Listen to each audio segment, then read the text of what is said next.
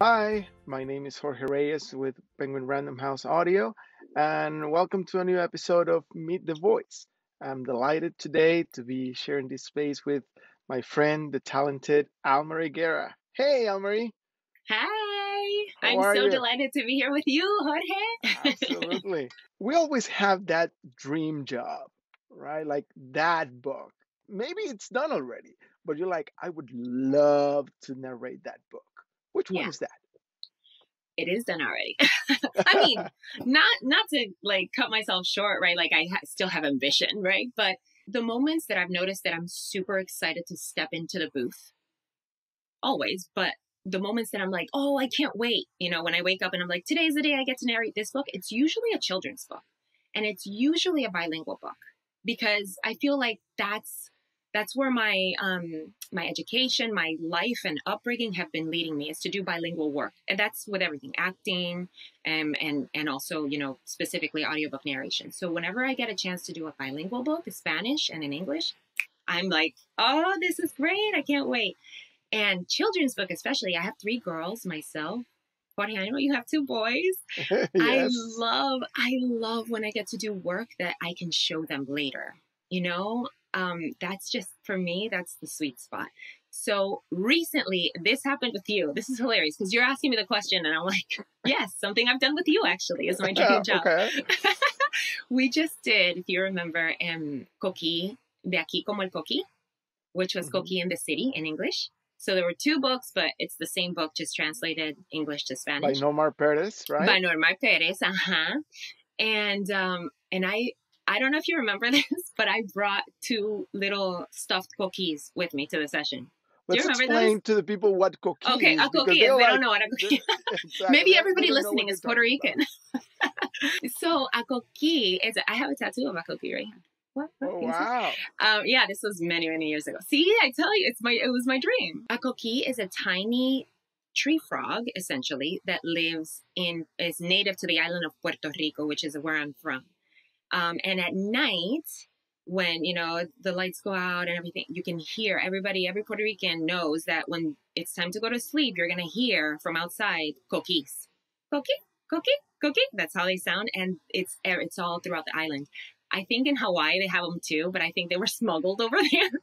And I don't know if the Hawaiians are so appreciative of it, but in Puerto Rico, we love it. Like that to us is like a lullaby. It soothes us to sleep and it's very like um it's just a symbol of home. It's a, you know, it's a symbol of who we are and and and our land and everything. So the coquí has always been very special to me. And um, being a Puerto Rican who's outside of, of her motherland, right?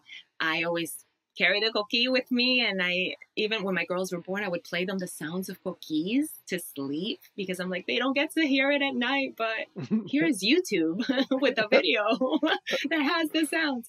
So when I got to narrate that book, I was like, this is, this is it. This is my dream book, you know? And so, yeah, so I, I, I got to do my, my dream book. But you, you did a beautiful job in that book, and uh, actually, uh, I remember you uh, helping us getting that recording of a coquí because you know it's not easy to get if you're not from Puerto Rico. So we did sound Yeah. design in that and all that, and we actually put the original coquí sound design in, in, in that book, and it it's beautiful. Oh, did you get to use that the clips Yeah, that I sent you? It's there. That's so It's there. special. I wasn't sure, and yeah, my friends and my family recorded those from in Puerto Rico. They were like, "Hey, sorry, it's raining, but here it is. Here's the sound." You know, they just put the. so I'm so happy that that that made it into the book. That's great. So let's go from, you know, the perfect loving moment in the studio where you narrated your your, you know, dream of a book to the more embarrassing moment in the booth. You Oh know, let's just change gears here. Okay. Uh, right? Um, Which one is that? my most embarrassing. Sadly, I'm not easily embarrassed. Like you know, like all this stuff that you know this you've worked with me enough um so i feel like all these things that would normally embarrass new narrators probably like burping and all these like oh that was an interesting sound. I don't care. I'm just like i hope you're okay with that. Um but yeah okay i can give you an embarrassing story. Falling asleep mid sentence while recording has definitely been my most embarrassing. And I still remember how it happened. I've okay, so first of all, I've narrated quite a bit throughout pregnancies. So like I've had 3 pregnancies so far where I have you know, shown up to work with my tired like self, but like turn it on, it's narration time. So I remember being in the booth once.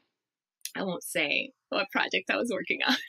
but I remember being in the booth and narrating, and I don't know what the you know paragraph or whatever was, but it was something like, you know, I was describing something like she looked over and the light from this, and I just stopped. I just like stopped, and I think I fell asleep with my eyes open. So if you would have looked in the booth, I just looked like I was frozen, but I was so tired. I was like trying to fake through the tiredness, but I was like, and she looked in the light and my engineer was like, "Are you are you okay?" Yeah, they were like, "Is is everything okay?" And I was like, "Yeah, why? Yeah, yeah, absolutely. Uh huh. Mm-hmm. Where was I? can you can you tell me where I was?" And they were like, "Are you sure? Do you need a break?" And I was like, "No, no, what? No." And of course, at that moment, I was super embarrassed. So I'm like, I'm I'm wide awake again. But yeah, that was that was not that was not great. going back to to the the craft and the experience as a narrator um you know you uh, uh, got some classes and coaching and all that but i always think when you learn something from your experience that mm-hmm. sticks with you like you know forever one what would that thing be like you learn that from your own experience like ah this is how i'm going to do it from now on because this actually helped me uh, yeah. as an audiobook narrator? What would you say? Sure. I think this came, I would say the thing that has stuck with me the most that doesn't really change no matter what you're doing is to remember that you have a listener out there. To remember that even though physically you're in a booth, like a, usually it's a very small space and it's soundproofed and you're thinking about all these technical things, right, when you narrate, I think at the end of the day, it's it's really helpful to remember what the point of it all is and that's so somebody can listen to somebody's story somebody can listen. And it's not my story it's the author's story. So you have to be the you know the custodian of that story and just go hey this author had all that i admire authors so much. They're like oh my god i take my hat off to them. I, they're my idols because I I'm I don't have that skill set where I could write, sit down and write like a piece of art like that. But you're you're taking that story that they birthed, you know, that they poured over, that they you know, that they wrote and you're communicating it to a listening audience, not to your microphone, you know, not to the four walls surrounding you, you know, not to your padding of the booth so that no, no, other sounds get in. You're saying it to the listener who's driving their car, who's doing the dishes, who's sitting there by the fireplace. One last question, and I don't know, let's just think how you know you're doing it you are one of the best in the business what's next for you? You know what what what are your aspirations as an audiobook narrator? Uh i don't know. What what what do you want to do more? Do you want to narrate more in spanish or more?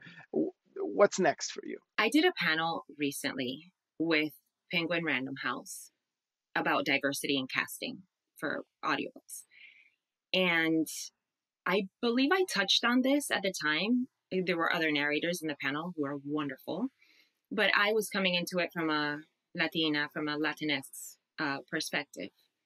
And I remember thinking, what I really want for this business is some of what I've experienced for other people. So to bring in, to open up avenues I'm not sure how that looks, and I'm sure we can you you and I Jorge can talk about this mm-hmm. later, um, because I think we have similar goals to open up avenues to bring more narrators in, so that we have authentic voices to represent some of this pretty amazing content that we've been getting from the authentic narr- uh, authors themselves. I mean, there's stories coming out of each Latin American country you know uh, uh, uh, there's puerto rican stories that i'm like oh let me do it because i know i know those street names. I know that land. I know the flow of their dialogue you know?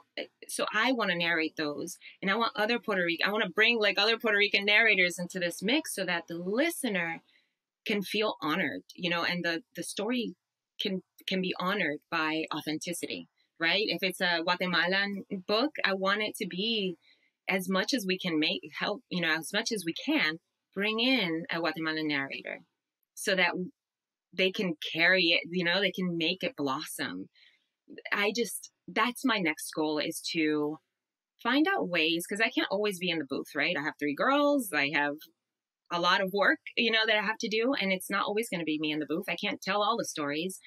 I really want to bring in more talent and encourage them, you know, and point them to the right training classes and or just to the right way to practice this or to the right industry contact and and just get more narrators in the mix that are from Latin countries and can hopefully bilingual as well and can do both Spanish and English. I love that. Well, Marie, I just want to thank you. This was a lovely conversation. Uh, and this was our uh, episode of Meet the Voice. And uh, thank you for being with us. Oh, you're so welcome. It was such an honor. And thank you, Jorge, for everything that you've always done. and you're such a wonderful friend and contact. And uh, this was a lovely conversation.